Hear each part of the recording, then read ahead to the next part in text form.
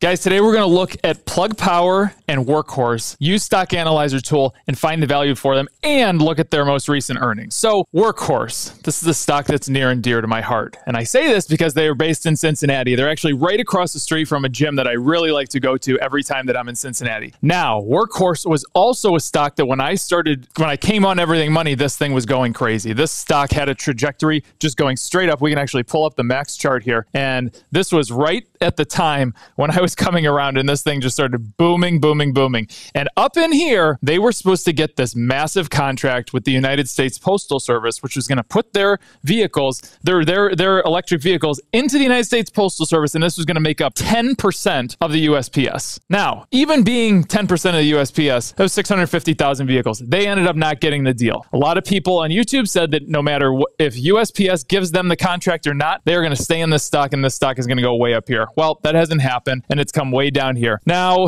the question becomes what do we pay for this company? Let's go and look at their most recent earnings and see exactly what is going on with Workhorse. So, this is one of those companies that does a lot of the electric vehicle stuff. Now, I remember looking at the warehouse and saying, okay, how does everything that they're doing happen in this little tiny warehouse? Since that I looked at that, they have moved, they've expanded, they've moved into a place where they can now expand to the amount of trucks that they want to build over a long period of time. For me, a lot of this stuff that's going on in both Plug and Workhorse, it's just it actually specifically in Plug, but a lot in Workhorse. It's saying we will do this, we may do this. If if this happens, then this will occur. There's no concrete evidence yet. That's where I struggle putting some type of valuation on here. But let's go forward. Sales, net of returns and allowances for the second quarter of 2022 were recorded at 12.6 thousand compared to 1.2 million the same period last year. The decrease in net sales was primarily due to the decrease in vehicle sales. So, how many vehicles are they actually producing? I don't know. Cost of sales uh, decreased $3 million from $14.8 million in the same period last year. So, everything is getting worse for them.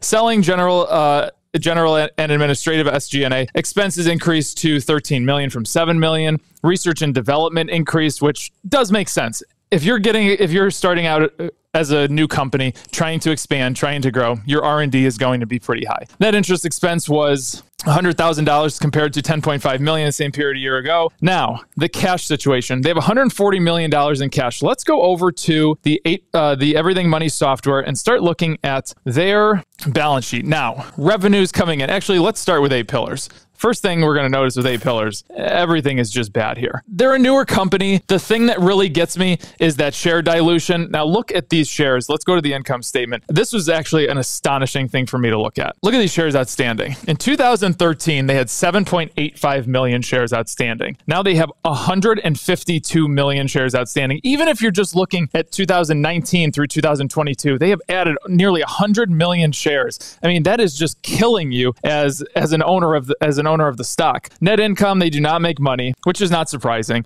Um, looking at everything that I've just looked at from their from their expectations, revenue, it is a negative revenue right now, so not a lot going on. I'd like to see their debt situation before we go forward. Total current assets of 188.65 million. Total current liabilities of 21.5 million. So it's not the worst thing in the world. Now let's look at their cash situation. Not the most ideal. I mean, net income is net income. They don't make any income, so that's going to kill them. Now now, I, well, here's the one thing that I do like from this company. if, if I have to pick something out, they're not going out and trying to make these crazy acquisitions, trying to buy themselves to prosperity. They're doing it by themselves. Is that a good thing or a bad thing? I don't know, but if, for the situation that they're in, I can't say that I love it. Let's do a quick stock analyzer tool. Now, guys, first things first one year profit margin is 22,300%. I mean, the when I look at a company like this, what company did we do last week? Uh, Nate, was it Rivian or something like that? I, either way, I was making wild assumptions on this. Maybe it was Nikola, something like that. And it came in for me when, it, when the uh, algorithm spit it out like 50 cents a share or something. Guys, I, I don't know where to put this we can try. I don't know how reliable it is, but let's just go with it. So let's say over the next decade, this company Workhorse puts in, let's do 20, 30, and 40% revenue. A little rich, but they do have a lot of growth potential if they do take off. There's no doubt. Probably go even higher than, than that, which is kind of wild. Um, profit margin, I'm going to go 10, 15, and 20. Unheard of in the car industry, but let's do it. Free cash flow, I'll do the same thing just for S's and giggles. 20. PE, I will give them a 20, 25, and 30 PE because everything else is out of control. So why don't we just make those numbers out of control? 25 and 30. I think, and I'm going to put in for my return. I will do a 17% return. And the reason I do 17%, if I'm going to invest in a company this risky, I want to beat the market. I want to crush the market. And what is our analysis? I mean, we're in negative. I can't even get to positive numbers here. This doesn't mean that the company is worthless. This means that I don't know what to put here. I mean, I could change these numbers all day, as you guys know. I could put in revenue growth of 75%, profit margin of 20, we'll leave that, PE of 60, and I'll put in an annualized return of 10%, and that is going to spit out to me still negative. Okay. Guys, I don't know what to tell you for this one. This is a company where you're just going and hoping that things work out for you. Guys, if you're new to this channel, my name is Mo. I work with Paul and we are value investors together. We use our eight pillar software. Personally, we use that software to go through and find starting points on companies. We look at these numbers and if there's a reason for us to dig deeper, then we do that. We exist to teach you guys a process. This is the same process that I use and I have, have learned alongside Paul to make myself better in the investing world. When you have a sound process, it helps you become a better investor, options trader, charts reader, what have you. Guys, at the end of this video, I will show you guys some charts and we will get into that as well. Now I'm going to hit you with Plug Power, another one of these bangers. So let's look at Plug. This is supposed to be the big hydrogen company. Um, they are, now here's the thing that I learned out of reading this quarterly report. So Plug Power reports $153 million in revenue for Q2, reaffirms the guidance that they have going forward. Something that was that really stood out to me in this. Uh, here I just highlighted some things. So if you guys see PTC, production tax credit, P, uh, TPD is tons per day. You see it a lot throughout these 18 or 20 pages, whatever it is. So a lot of things that I saw, it was just if this happens, then we will be able to move forward. Or, or it was all just these promises that are looking into the future, which is fine. I understand understand they're a new company and that's fine. But you as an investor need to understand I can't just go on hopes and dreams. I have to have concrete numbers. I have to have concrete information. I have to have concrete product before I start going and paying some type of premium for this newer company. So right now, they're they are the one big thing that they're touting is this Inflation Reduction Act that was passed yesterday uh, and signed into into law, which is going to help them for uh, the, they said for climate change, for good energy, and jobs going forward. We remain focused on building out the green hydrogen generation network with targets of 70 tons per day uh, commissioning by the end of 2022, 500 tons per day in North America by 25, and 1,000 tons per day globally by 2028. And that was the big takeaways that I saw. Everything else that I saw in this thing was kind of if this happens, then it will be good X for what have you. So, you know, let's go. Let's go and look at Plug Power.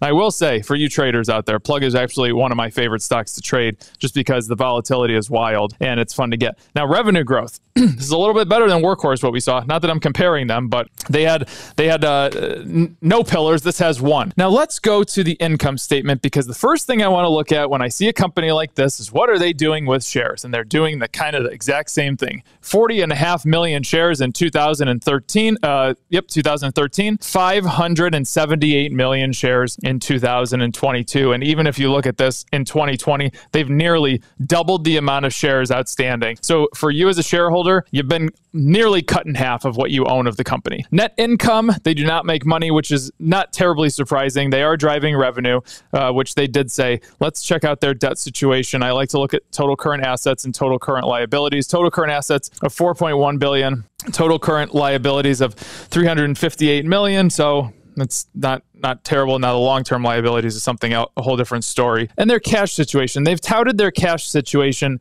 in that document. Um, they did go out and do some type of acquisition, so they're a little bit more active in that world. Now let's run a stock analyzer real quick on this. A little bit more practical numbers. Just, uh, I mean, we have here, or at least we're working in hundreds and not 22,000s, which we were working on with Workhorse. But let's move forward. So revenue growth over the next 10 years. I'm going to go, I'll go 15, uh, 20, and 25. Uh, profit margin. So this is a tough one. What is? I mean, this is a new industry. We don't really have an industry to compare this off of. It's, it's hydrogen space. Yes, there are other hydrogen companies out there, but are there any reliable ones out there that are doing it on a grand scale? No, there aren't. So profit margin, I'm going to go and I'm going to put in 8, 16, and I'll put 24 just to kind of spread that out. I don't know if the 24 number is profitable. I'm going to do the same thing for free cash flow. And PE, I will do 20, 23, and 26.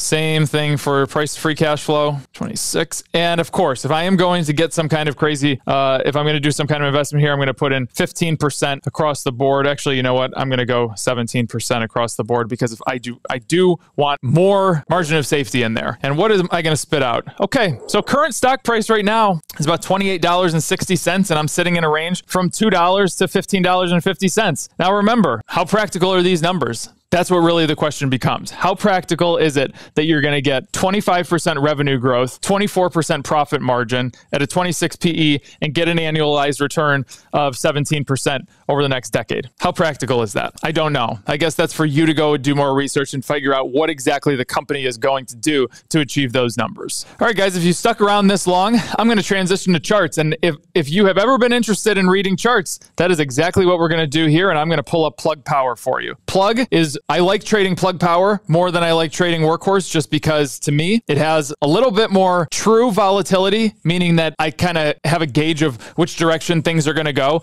and they don't happen as fast. So this is a swing trading chart for plug power and you can see this has been an awesome, awesome swing trade for the past, oh, 10 days. It had some really great engulfing candlesticks, really good volume. I mean, something that I look at right here. I mean, you have an average volume here of 25 million shares traded per day. That means that you have constant activity on a stock like this. So this is something that you really, as a if you get into trading, you'll really understand that the more volume you have, the better. So we enter through the sweet spot really nicely here. We had an incredible run through the 200 day moving average because we had such great volume, and now we're just peaking higher and higher and higher. If I'm you or I'm trading this, I'm seeing a lot of resistance here about this $30 range. So what, what does that mean? That all that means is if I'm in this, just take some profits up here. Let it start rolling back down. This stochastic will start rolling back down and you'll have a beautiful, beautiful short. The great thing about trading is that you can make money going up and you can make money going down. And making money going down is a lot easier than making money going up because stocks go down a lot faster than they go up. Last thing, guys, if you have not seen Paul demonstrate our full eight pillar process, catch it right here and I'll catch you on the flippity flop.